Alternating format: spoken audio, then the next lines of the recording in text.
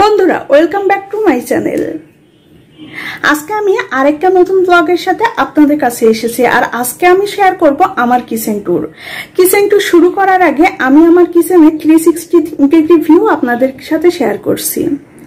এরপরে আমি একে একে শেয়ার করব আমি আমার প্রয়োজন আর সুবিধা অনুযায়ী কীভাবে সবকিছু অর্গানাইজ করেছি।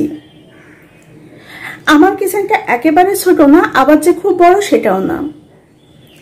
তবে আমার এই কিচেনটা আসলে শুধু কিচেন না, পুরো বাসাটাই আর কি অনেক দিন ধরে রং করা হয় না। সেটা আমার আগের ব্লগগুলোতেও আপনারা শুনেছেন। প্রায় পনেরো থেকে সতেরো বছরের পুরনো এই বাড়িতে আমি কীভাবে সবকিছু সুন্দর করে সাজিয়েছি সেটাই আপনাদের সাথে শেয়ার করব।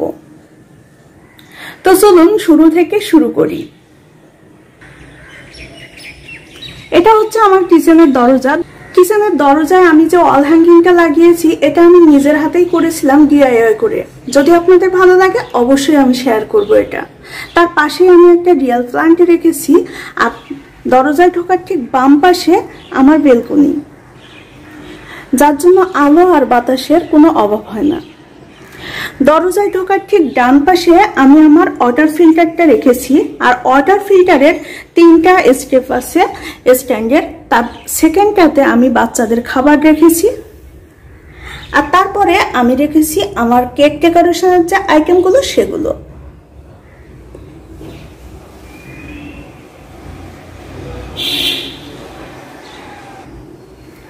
তো চলুন দরজার ভিতরে যাওয়া যাক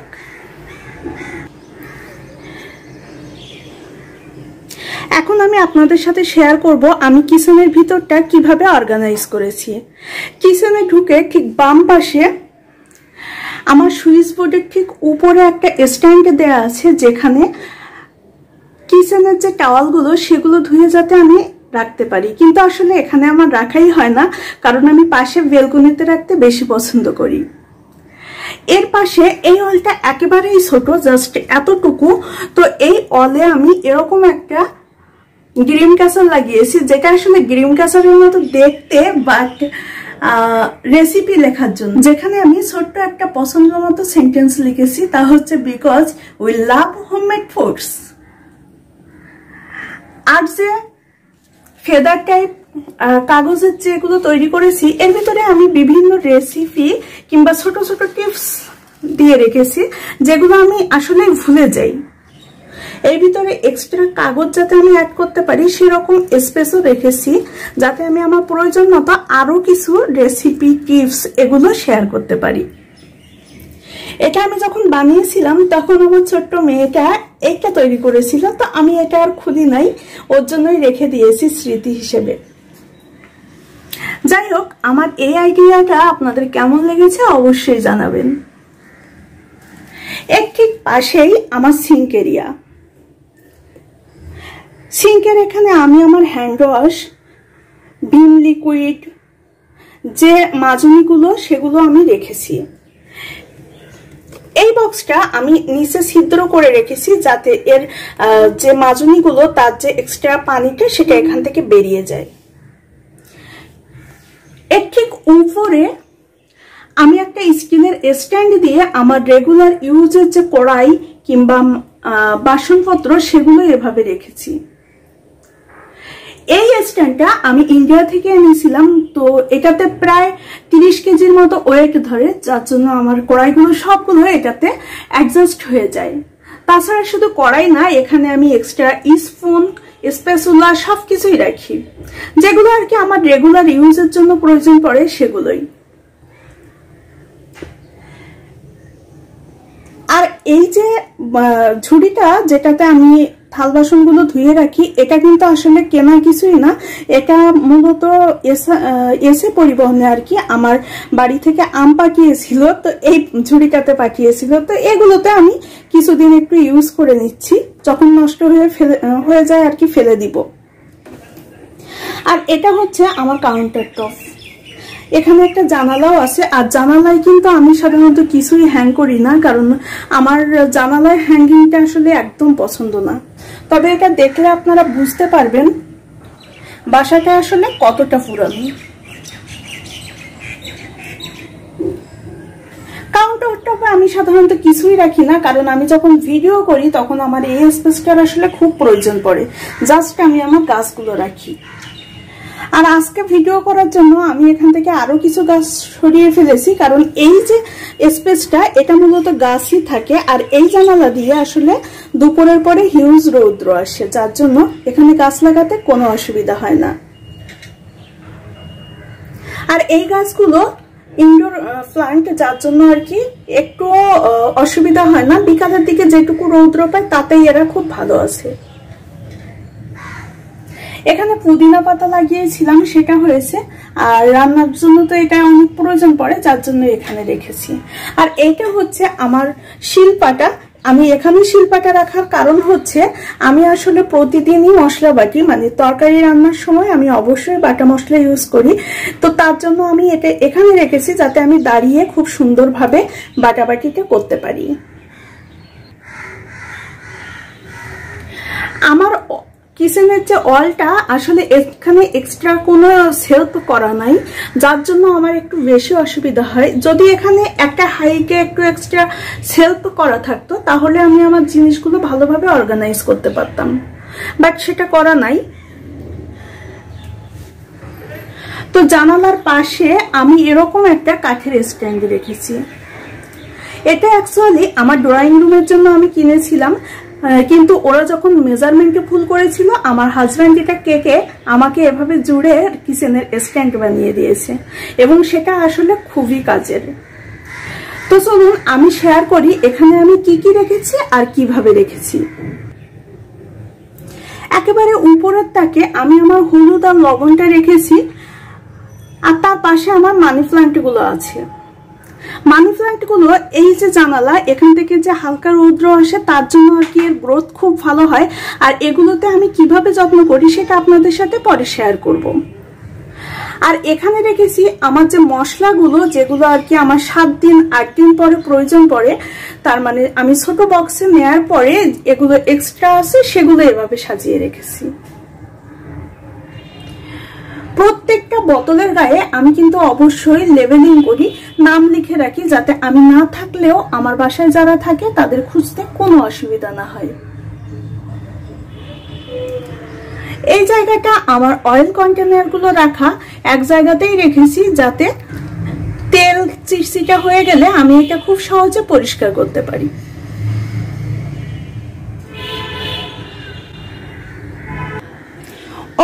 আমার কাঠের যে র্যাকটা লাগানো, সেটা দেখতে অনেকটা এরকমই। একটু ডান পাশে আমার চুলার এরিয়া চুলার যে গ্যাসের পাইপ সেটা কিন্তু অনেকটাই তেল চিটচিটা হয়ে যায়। তো এখানে একটা সুইচ আছে, আর এই সুইচটা মূলত উপরের তলার যে গ্যাসের লাইন, সেটা কানেক্টেড তো এখানে যদি তেল চিটচিটা হয়, উঠাতে অনেক অসুবিধা হয়, তো তার জন্য আমি এভাবে ফয়েল পেপার দিয়ে মুড়িয়ে রেখেছি। আবার আমার চুলার সাইডে যে সুইচটা আছে, সেখানেও কিন্তু তেল চিটচিটা হয়। এজন্য এই জায়গাটাও আমি পুরোটাই ফয়েল পেপার দিয়ে মুড়িয়ে রেখেছি।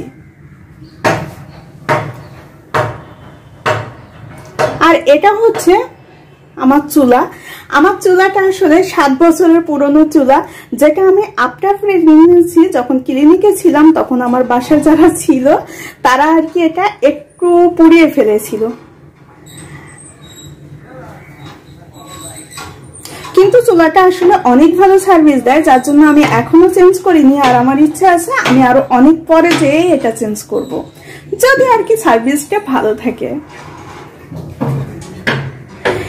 এর পাশেই আর একটা ছোট কাউন্টার টপ কাউন্টার টপটা আমি যদি এভাবে দেখাই, তাহলে আপনারা দেখতেই পাচ্ছেন কতটা ছোট। এই কাউন্টার টপের এখানে আমি একটা স্পুন হোল্ডার রেখেছি, আর তার পাশেই একটা কয়েন প্লান্টের গাছ আছে। কয়েন প্লান্টে একটু পানি বেশি দিলে খুব ভালোভাবে ইন্ডোর প্লান্ট হিসেবে থেকে যায়, যার জন্য আমি এখানে রেখে দিয়েছি। আপনারা আমার বিভিন্ন ভিডিওতে এই গাছগুলোই দেখতে পান ঘুরিয়ে ফিরিয়ে। তার পাশেই আমি আমার ব্লেন্ডার রেখেছি, আর ব্লেন্ডারটা আমি জাস্ট এরকম একটা ম্যাট দিয়ে ঢেকে রাখি যাতে ধুলাবালি না পড়ে।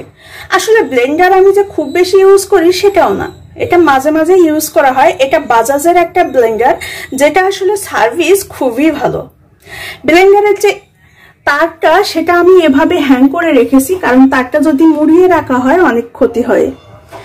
আর এখান থেকে জাস্ট এখানে লাইন দিতে আমার বেশ সুবিধা হয়। তো তার জন্য আমি এভাবে হ্যাং করে রেখেছি। এর উপরে আমি আরও একটা কাঠের ফ্রেম রেখেছি। এগুলো কিন্তু ঘরেই করা। তো চলুন, এই ফ্রেমটাও আমি কীভাবে অর্গানাইজ করেছি সেটা আপনাদের সাথে শেয়ার করি।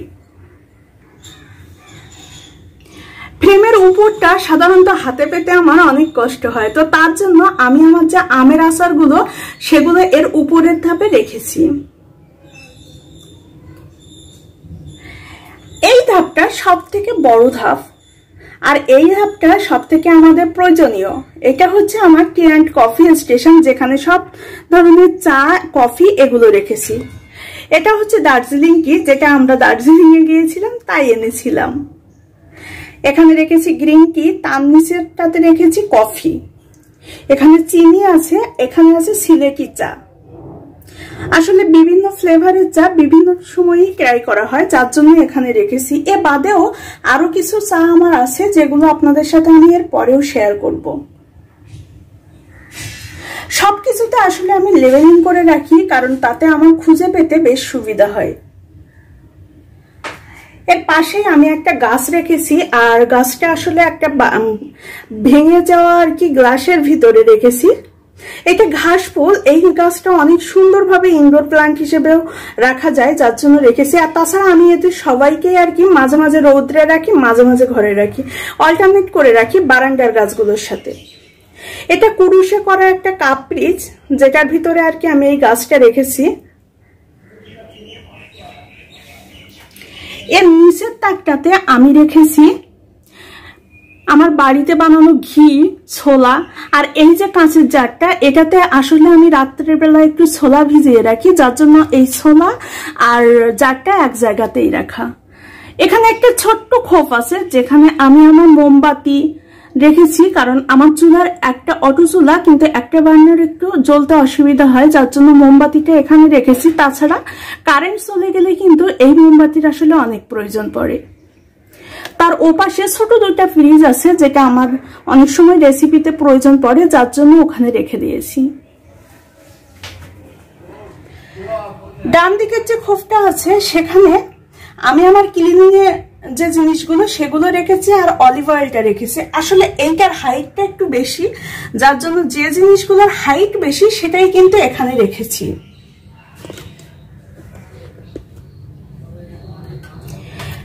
এখানে আছে লাল হিট, ফার্নিচার ক্লিনার, আমার যে চুলা ক্লিন করি, যেটা ডিআইওয়াই করে, সেটাও এখানে রেখে দিয়েছি। এটা আসলে দিনে খুবই কম সময় প্রয়োজন পড়ে, যার জন্য এই হাইকে রেখে দিয়েছি।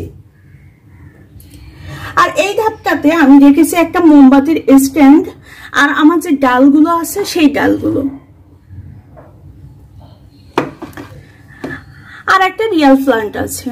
এই গাছগুলো আসলে রুমের ভিতরে খুব ভালোভাবে হয়, তার জন্য এভাবে আমি রেখে দিয়েছি। এই ফ্রেমটার গায়ে আমি কিন্তু আমার মেজারমেন্ট কাপগুলো এভাবে রেখেছি। আসলে অনেক সময় এগুলো প্রয়োজন পড়ে, আর খোঁজার অভাবে দেখা যায় যে কাজ করতে অসুবিধা হয়ে যায়। তো এখানে আমি এইগুলো রেখে দিয়েছি। তাছাড়া এর ভিতরে আছে একটু ব্ল্যাক অলিভ আর এখানে একটা স্পুন ঝুলিয়ে রেখেছি যাতে আশেপাশে যদি প্রয়োজন পড়ে, যেমন চা, এখান থেকে চা নেওয়ার সময়ও প্রয়োজন পড়তে পারে, তো তখন ওখান থেকে আমি এটা নিয়ে নিতে পারি। আমি ওভারঅল কাঠের যে স্ট্যান্ড সেটা কেমন সেটা একবার দেখিয়ে দিচ্ছি। আশা করি এটাও আপনাদের বেশ ভালো লাগবে। আপনারা চাইলে এভাবেও করে নিতে পারেন, এটা কিন্তু অনেক বেশি কাজের আর কি। সবকিছু খুব সুন্দরভাবে গুছানো যায়। তো এর পাশেই এখানে আমার একটা প্লাস্টিকের র্যাক আছে, যেটা আমি আর আরএফএল থেকে নিয়েছিলাম। আর এই র্যাকটা সাধারণত চার ধাপের হয়, বাট আমি এইটাকে এক ধাপের করে কিনে নিয়েছি। দুইটা কিনে উপরে নিচে করে রেখে দিয়েছি। তাতে হয় কি, কম জায়গাতে আমার বেশ কাজে লাগে এটা।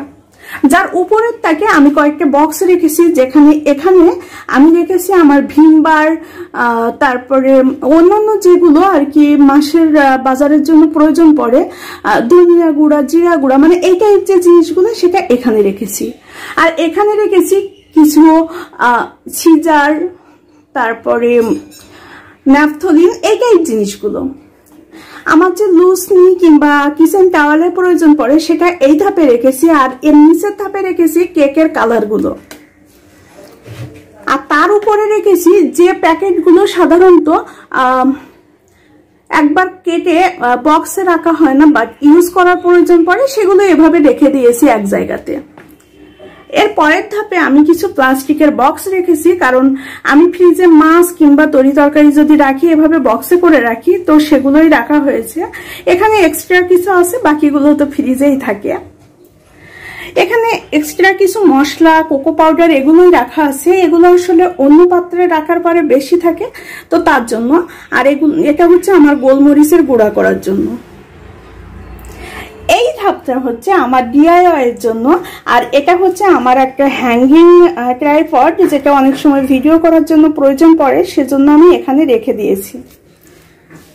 আর এখানে আসলে আমার ডিআইওয়াই এর কালার গাম কিংবা আমার কিচেনে প্রয়োজনীয় যে যদি কিছু লেখার প্রয়োজন পড়ে, তখন খাতা কলমের প্রয়োজন পড়ে, তো সবকিছু আর কি এই ধাপটাতে আমি রেখে দিয়ে দিই।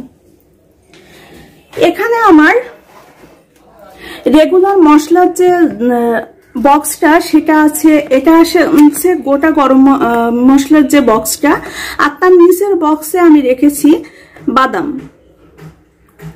আর এখানে আছে পাউরুটি, চিপস, নুডলস সব কিছুই আর কি আমি এভাবে রেখে দিয়েছি এবং সব কিছুর উপরে আমি নাম লিখে রেখেছি যাতে কখনো যদি আমি না থাকি বাসায় যারা আছে তাদের খুব সুবিধা হয়। তারপরের তাকটাতে আমি রেখেছি আমার রেগুলার ইউজের যে জালি কিংবা কড়াই ঢাকনা কিংবা প্রেশার কুকার দু একটা জিনিস যেগুলো প্রয়োজন পড়ে সেটাই। তারপরের ধাপে আমি রেখেছি আমার শপিং বোর্ডগুলো আর তার নিচে আমি রেখেছি যে আমার থালা বাসনগুলো যেগুলো আর কি রেগুলার প্রয়োজন পড়ে না কিংবা হাঁড়ি যেগুলো প্রয়োজন পড়ে না, মাঝে মাঝে প্রয়োজন পড়ে, সেগুলো আর কি পলিথিনে মরিয়ে রেখেছি যাতে কোনোভাবে তেলাপোকার উৎপাত না বাড়ে। এর পাশেই আমার আরও একটা মিটসেপ আছে, যেটা আসলে অনেক পুরানো। মিরসেপের উপরের ধাপে আমি রেখেছি আমার রুটি বিলুনি কিংবা রুটি ভাজার যে প্যানটা, সেইটা পলিথিনে মুড়িয়ে রেখেছি যাতে তেলা পোকা না লাগে। এই ধাপগুলোতে আমি জাস্ট আমার টিপট যেটা প্রতিদিনই ইউজ করা হয় সেগুলো হ্যাং করে রেখেছি। আর এখানে আমি রেখেছি আটা, ময়দা, চালের গুঁড়া, এই জিনিসগুলো। যেগুলো একটু হাইট বেশি অন্য জায়গায় রাখতে পারিনি সেগুলো এর উপরে রেখেছি। তবে ম্যাক্সিমাম টাইম এই জায়গাটা আসলে ফাঁকাই থাকে। আর নিউজপেপের উপরে যে তাকটা আছে, সেখানে আমি ব্লেন্ডারের জারগুলো হটফটগুলো কিংবা রেগুলার ইউজের যে প্লেট বাটিগুলো প্রয়োজন পড়ে, সেইটা রেখেছি। আর এই যে মাঝের যে ধাপটা এটা আমি সাধারণত ফাঁকাই রাখি, কারণ আমি যখন খাবারটা রান্না করি, এর ভিতরে আমি ঢেকে রাখি। তার পরের ধাপটাতে আমি রেখেছি আমার ফ্রাই প্যান কড়াই, যেগুলো আর কি ভিডিওতে বেশি ইউজ করা হয়, সেই টাইপ জিনিসগুলো। একটা যে গ্রাইন্ডার সেটাও রেখেছি হ্যান্ড গ্রাইন্ডার এটা। আর রেখেছি ওয়েট মেশিন যেটা আর কি খাবার মাপার জন্য অনেক সময় প্রয়োজন পড়ে। আর তার নিচের ধাপে আমি কেক কেক তৈরির জন্য যে জিনিসগুলো, সেগুলোই রেখেছি। একটু হট ফট এইসব যে জিনিসগুলো আসলে কম প্রয়োজন পড়ে, সেগুলোই নিচে রাখা আছে। আর তার নিচের যে স্পেস সেখানে আমি আমার বটিটাও এভাবে ঢুকিয়ে রেখেছি।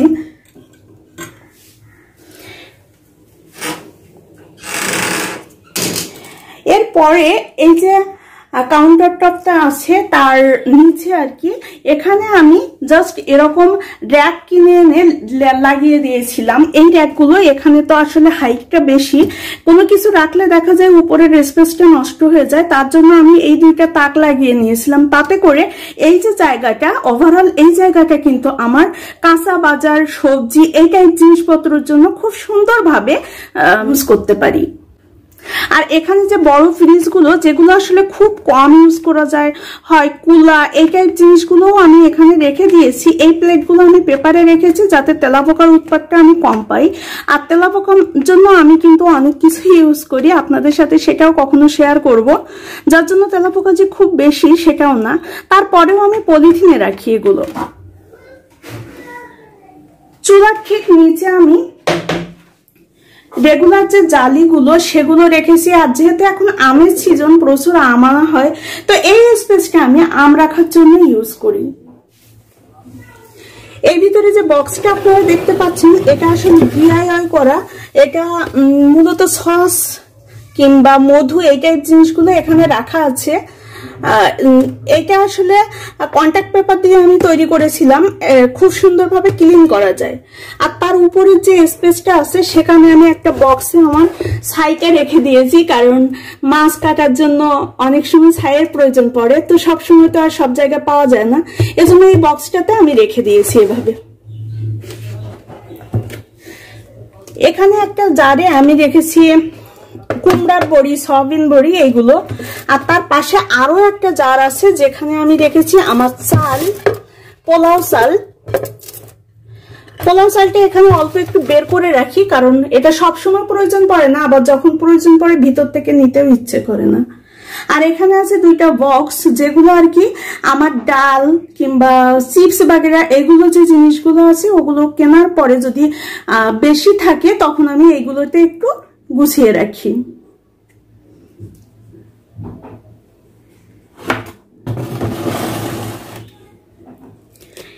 এর পাশেই জানালার নিচে যে কাউন্টার টপটা আছে, তার নিচে আর কি, এই জায়গাটাতে আমি আমার চালের গ্রাম। তারপরে মাসকাভারি যে একবারে যদি তেল কেনা হয় বা যে কোনো জিনিস আর কি কেনা হয়, এই স্পেসটাতে আমি রেখে দিই। আর এটা হচ্ছে আমার কেকের যে টার্নিং টেবিলটা সেটা। আর তার নিচে একটা বালতি আছে, ঢাকনা দেয়া, যেটার ভিতরে পোলাও চাল আর কি, এই বালতিটাতে আমি রেখে দিয়েছি আর এখান থেকে নিয়ে আমি অল্প কিছু একটু ওপাশে রেখে দিই।